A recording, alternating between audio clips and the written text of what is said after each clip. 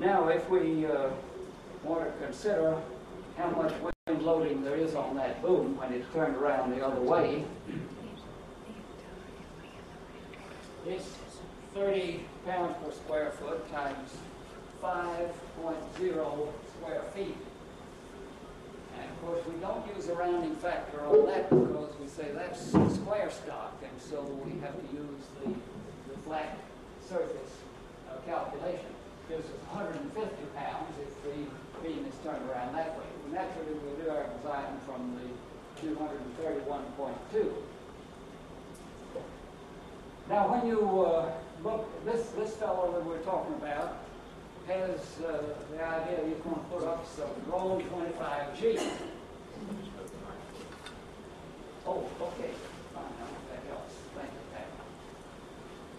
He has some Rohn, or he's going to get some Rohn 25G, and he wants to put it up 30 feet with his um, beam on top.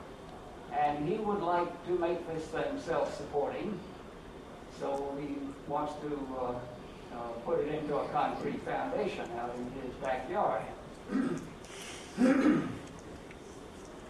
All right, when you look in the Rohn catalog, you find that the, that the 25G tower has a projected area of, that is a one face of it, two, uh, 0.254 square feet per foot of length of a Rohn 25G tower, 0.254 square feet per foot of length of the tower. now, it's built out of round elements, so we apply the two-thirds rounding factor.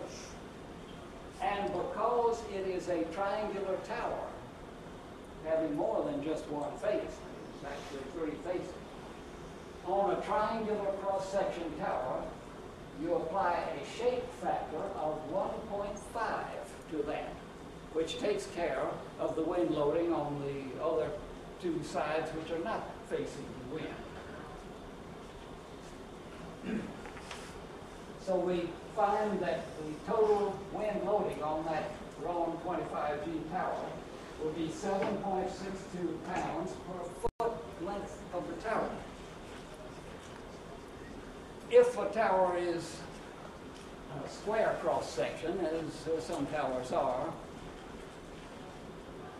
the shape factor becomes 1.75.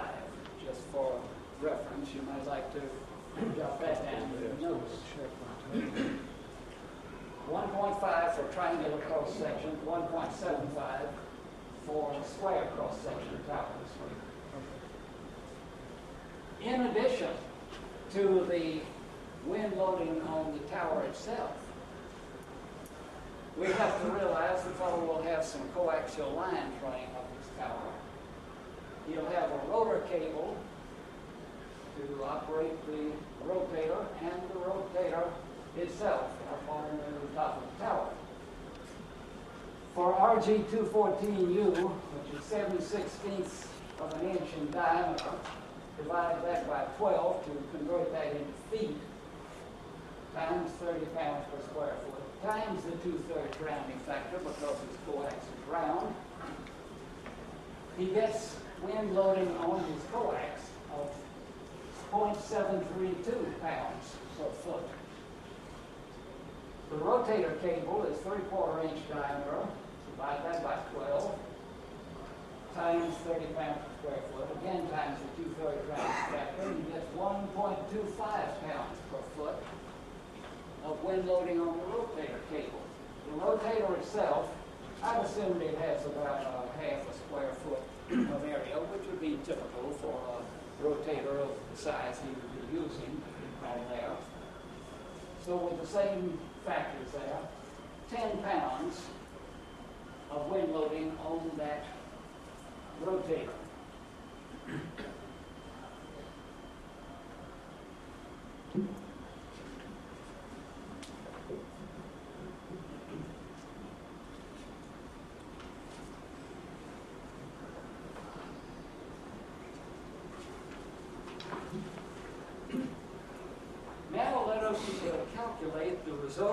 Uh, that we have on our uh, tower from all of these loads that we have on here. We take the wind pressure on our beam up there times its height above ground, that is times the moment arm being 30 feet of tower. So we multiply those. 231.2, which was the wind force we calculated for the beam, times 30 feet gives us 6,936 foot-pounds of moment that will be at the base. You realize that uh, farther up the tower, the moment is not so great, just right up at the top. There's no moment. The moment is proportional to how far down the tower you calculate. But the greatest moment, of course, will be where you have the longest moment arm, which be at the base of the tower. Well, everybody knows that the thing won't break off there, it's going to break off. The rotor, 10 pounds times 30 feet gives us 300 foot-pounds of moment. The tower itself, 7.62 times 30, but now not times 30 pounds per square foot, but not times the whole height of the tower, but rather half the height of the tower, because this is a distributed load. The wind force is uniform along the entire tower, and although it might not be totally evident, it will work out that if you calculate the total wind force on the tower and multiply it by half the height, you will get the moment that's uh, produced down there. If you don't believe that, try subbing those moments for the first foot and the second foot and the third foot down, and you will find that you come out, uh, as I've said, with uh, the calculation for half of the height being the correct amount. So I've uh, taken the 7.62 pounds per foot times, I mean, 7.62 times the full length uh, to be the total uh, wind force on the tower times 15 feet to give 329 foot-pounds. The coax is 0.732 square feet per, per foot times 30 times 15 again, because again it's a distributed load. Yeah, got off my track here. The, the tower is giving us 3,429 foot-pounds, the coax 329 foot-pounds, and the cable for the rotor 562 foot-pounds. This gives us a total moment at the base of this tower under these conditions with the maximum wind that we calculated for of 11,556 foot-pounds moment at the base of the tower. Now, when you look up in the Roman catalog, they will show you in there, in their specifications on that tower, that the maximum safe moment of restraint on that tower, that is its ability to withstand moment, is 5,130 foot-pounds. You see, we're, in this case, more than twice overload on that tower in that case. So when our, our friend calculated this thing out, he says, hey, I can't put Rohn 25G up self-supporting with that beam on top of it at a 30-foot height. It'll break down the high wind. So he decides to do something else. He talks to some of his ham friends, and they uh, they say, "Well, look, uh, put it up alongside the house, and uh, and put a, a bracket, a house bracket support on that thing." So he decides he will try that.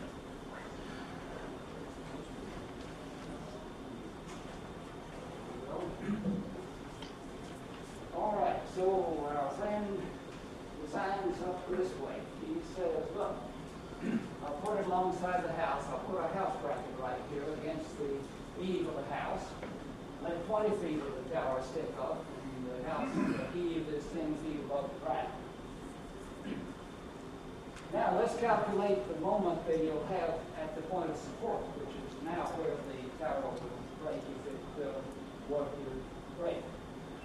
The beam, now calculating for a 20-foot moment arm there, the beam gives us 4,624 foot-pounds. The rotor, 10 times 20, or 200 foot-pounds. The distributed load of the of the coaxial line, the tower, and rotor cable. I've lumped those all together and it comes out 9.6 pounds per foot. Uh, no sense in going through all those independently because we've already done those. 9.6 times the 20 foot times 10 feet because of being a distributed load. That is, it be as though the, or a concentrated load at the center gives us 1,920 foot-pounds. The total moment at the bracket is 6,744 foot-pounds. Well, that's still larger than the allowable moment of restraint on the 25G tower, which was 5,130. But uh, he figures, well, what the heck, that's close enough, I'm going to risk it. So he um, uh, decides to go ahead with his calculation. He said, let's see what's the force on the house bracket. Now, in this case, we are supporting the tower not by a moment at the base, which was uh, the way it would be if it were just in concrete out in the yard, but now we are distributing that moment across a 10-foot moment arm. It's as though we taking the tower and we held it this way. We'll uh, keep it from turning over in the wind. So we can take our 11,556 foot-pounds that we calculated for the self-supporting situation and say, look, that moment is now resolved on a 10-foot moment arm. So therefore, the, uh, the force on the eave bracket would be 1,155.6 pounds. well, he was so excited about uh, what he had determined on this thing that he went to talk to his wife about this and told her how he had calculated this. He used all the smarts that he had learned down at A&M, and he uh, said, "Look, I'm going to I'm to put this thing here and and it calculates out it'll have 155.6 pounds of force on the roof. His wife said, you're going to put 1,155 pounds of what on our roof? And so he starts to explain that this is the lateral thrust due to the wind velocity, et cetera, et cetera. She said, look, kid, this is our bedroom window, and I'm not having even 1,155 pounds of anything on the roof over my head. If you are going to do something like that, I'm going to move into the kids' room, and you can just sleep in bed with your Eichwood 872A and see how you like that. Well, he, under such pressures as that, he decided he would revise his way of thinking. So uh, he abandoned this idea of, uh, of using a house bracket. Furthermore, it showed that it was an overstress on the moment of restraint of the tower itself. And so he decided to take another approach to it. He decided that he would like to move the tower out into the yard again but he's going to put guys on it. He'll put uh, a set of three guys at the 40 foot level. He said, as I'm going to guide, I'll go up 50 feet with this thing. I'll get an extra uh, 20 feet of height, which is more favorable from an electrical standpoint. And I will get it away from the house and not have the wife worried about it tearing us the roof. I could not tell you myself whether the roof would stand that. I'm not expert on wood construction, and I wouldn't know whether uh, bracket to the edge of the eaves or however would stand that much force. Maybe it will. I'm, uh, I don't know. I have to talk to uh, somebody expert on wood construction. Let's calculate now the situation guide at the 40-foot level. He puts an anchor post out here in concrete, the anchor post sticking five feet above the ground, and he has three guides on it. All right, let's see what moment, what bending moment we'll have at the guy level up, up here. Again, the 241.2 of uh, force on the on the beam uh, plus the rotor. I'm just adding that 10 pounds of rotor uh, thrust on that times the 10 foot arm. See, just 10 feet down to the guy point plus 9.6. That is our uh, pounds per foot on the tower, rotor cable, and coax times five feet. That is, it's a distributed load, and so it's just from halfway up down to there. Gives us 2,892 foot-pounds. Well, that is well below the uh, 5,130 that the 25G tower will withstand. So there's plenty safe on that. Now, because it is a 50-foot high structure, the moment that would be at the base, if it were not guide, if it were just self-supporting in the concrete there, would be 241.2 times 50 plus 9.6 times 50 times 25 for the halfway up for the distributed load would give us 24,062 foot-pounds at the base. That is being resolved by the guides up here. So again, we take that uh, the unsupported moment that we would have at the base and divide it by the 40 feet will give us 601.5 pounds of horizontal restraint at the guide level. Now, let's see what we do with that.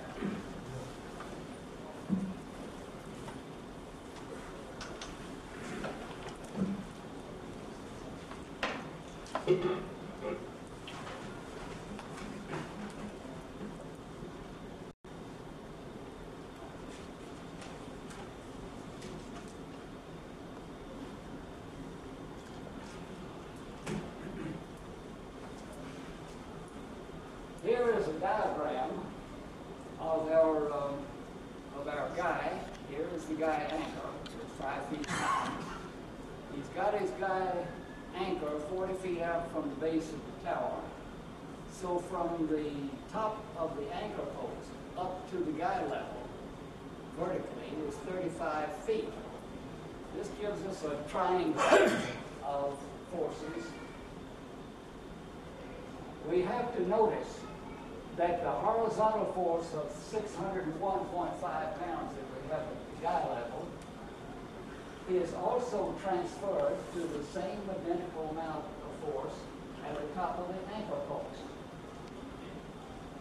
Pull 601.5 pounds there, and it's resolved on this. You'll have a horizontal force of 601.5 pounds at the top of the anchor post. Now, we all remember, we all had certain amount of trigonometry in our studies in school. There's only three things you really need to know about trigonometry. I don't care how complicated you want to make the subject with all kinds of equations and stuff, but there are only three relationships in trigonometry that are, are fundamentally meaningful. That if you're talking about this angle E in a right triangle here, and this is side A and this is side C, that A over C is called the sine of this angle. That B over C, that is this one divided by this one, is called the cosine of the angle.